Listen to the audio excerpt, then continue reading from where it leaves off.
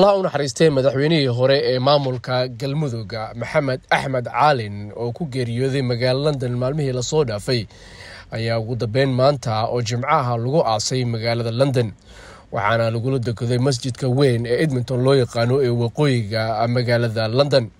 Madaxweyne caalin wuxuu ka mid ahaa madaxdii muddada dheer ka soo shaqeeyey sidii soomaaliya looga saari lahaa hanaankii kumeelgaarka ahayd isagoona ka soo qeyb qaatay shirarkii kala duwanaa ee ka dhacay sidoo kale lagu magacaabay garawe kow iyo laba. Isagoona sidoo kale ka mid ahaa madaxweyne caalin aasaasyaashii maamulka galmudug oo haatan sanado badan jirsaday. Tan iyo dhalashadiisa kadib ayaa madaxweyne caalin wuxuu dalka soomaaliya ka soo qabtay xilal kala duwan. Isagoona ugu dambeyn sanadihii la soo dhaafay qurbajoog ahaa gaar ahaana ku noola wadankan ingiriiska. Allaha u naxariistay qeybihii kala duwanaa ee bulshadii kula kulmay janaasadiisa madaxweyne caalinna ayaa waxay ii sheegeen sidoo kalena ka tacsiiyadeen marxuumka.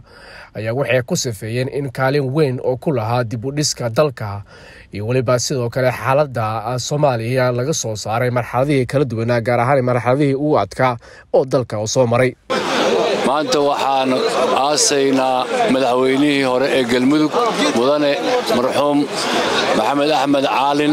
Allah u naxariisto janatulfirdowso allah ka waraabiyo. Walaalkay saaxiibkay madaxweyne hore caalin ilaahay u raxmado jannada allah geeyo ehelkiisii iyo qaraabadiisana sabar allah ka siiyo.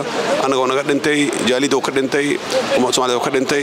Aad baan waxaan uga tacsiyeynaynaa familkiisa iyo soomaali oo dhan ilaahayna jannadii ka waraabiyo? Qayb ka qaatay sidii loo dhammaystiri lahaa dastuurkii lasugu yimid magaalada muqdisho ee kumeelgaarka ee iminka aanu haysanno haddaan jamhuuriyadda federaalk soomaaliya nahay. Iyo samayntii la sameeyeyba dowladda jamhuuriyadda federaalk soomaaliya labadii kun iyo labiyo tobankii bishii ogost labadii kun iyo labiyo tobankii. Allaha u naxariisto madaxweyne caalim ilaahayna ha naga samarsiiyo.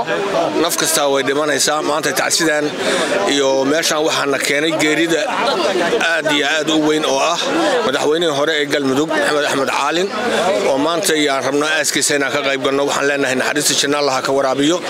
Madaxweynihii aasaasay galmudug wuxuu ahaa nin ummadda soomaaliyeed aad qaali ugu ah nin siyaasadda soomaaliya door fiican ka qaatay horumarka iyo maaragtay soomaaliya dhisidii maamul goboleedyada. Marka wuxuu ahaa nin shaksi ummadda soomaaliyed muhiim u ah. Maantana waxaan aasaynaa isagii waxaan leeyahay ehelada iyo qaraabada iyo shacbiga soomaaliyeed meel kastay joogaanba in loo duceeyo allah u naxariisto nin aad u afgaaban oo hambal ah oo xishooda oo dadka dhan ururiya ayuu ahaa. Ilaahay waxaan ka baryaynaa jannadii ilaahay inuu geeyo ilaa intaasaan aqinana wax ceeba kuma aqoon wax dhiba kuma aqoon wax xumaana kuma aqoon nin soomaaliya oo bayuura oo macaan oo nin walba la noolaan karu ahaa. Gurigii rasmiga ahaa baa la tegayaa maanta la geynayaa.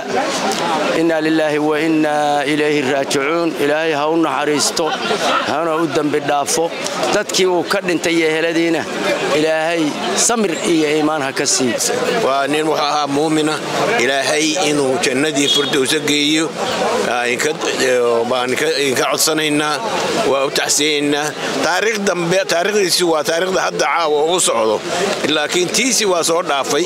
Midda hadda ugu socdo ilaahay ha u sahalo maanta waxaa naga dhintay nin ah oo madaxweynihii hore ee المدق محمد أحمد عالم.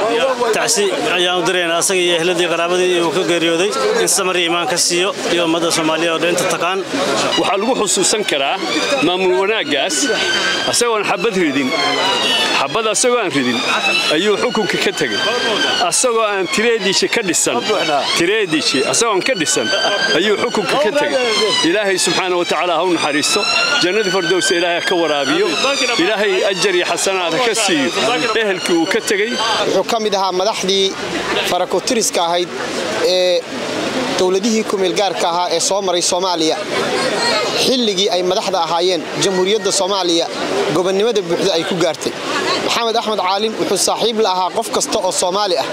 Wuxuu ahaa nin aan xirxirnayn nin tilmaamaha uu leeyahay.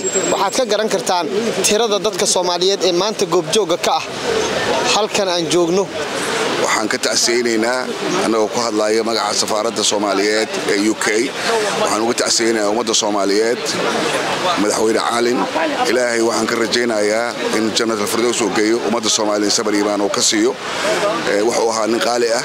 Waa maalin loo wada socdo kula daaqatartumowt waxaan leenahay sabar iimaan eheladiisa waxaan uga tacsiyeynaynaa soomaaliya o dhan in ilaahay sabar iimaan ka siiyo.